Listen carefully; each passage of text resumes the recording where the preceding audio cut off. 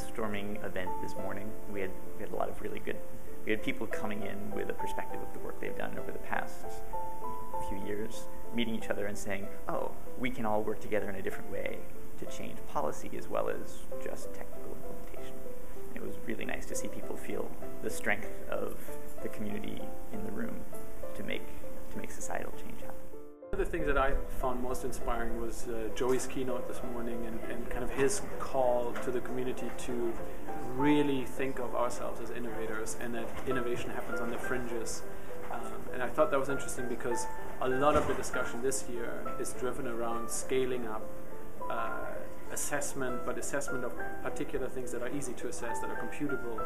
And I think Joey really kind of moved our thinking in a different direction there to say, you know, start looking at places that don't look like universities, that don't look like schools, and see how people learn in kindergartens or before kindergartens. Or he's a diving instructor. You know, how do people learn diving?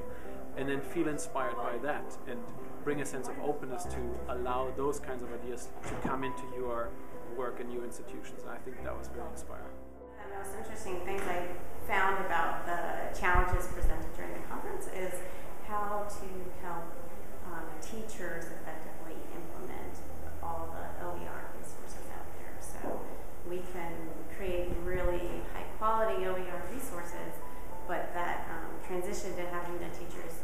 Use them in very effective ways and helping them um, participate in the innovation of how they're being used, uh, I just find it a very intriguing and interesting challenge.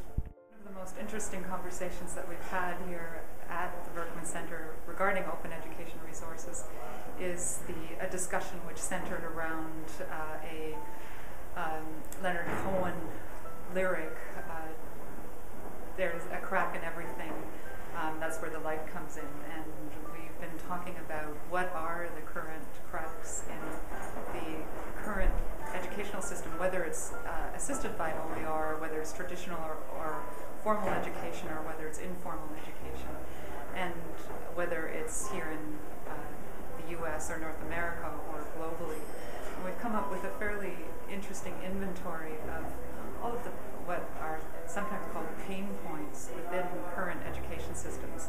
And in every case, we've determined some way in which the uh, network community, the open education system, the open education resources, and the community that uh, has gathered around it can address those cracks or those uh, broken bits of the current education system. Interesting things we were discussing in our cluster was that although people are quick to criticize our education system, uh, we're not that bad. Uh, in fact, we encourage creativity uh, and project based learning probably better than a lot of other countries. And one of the things we wanted to do is frame the discussion slightly in a more positive way. Uh, if you feel like you're losing the fight, uh, it takes the, uh, I guess, enthusiasm out. So one of the things we wanted to do is focus on the best that we do in education, particularly in America, and make it even better. I think what I found most interesting um, about today is that there, there's clearly some inherent tensions in, um, in, in, what we're all doing. Uh, there's the tension between individual teachers wanting um, uh, creativity and uh, the ability to uh, build their own courses and express themselves through those course materials, etc. Um, and that's in direct uh, tension with wanting turnkey solutions that don't require a lot of time.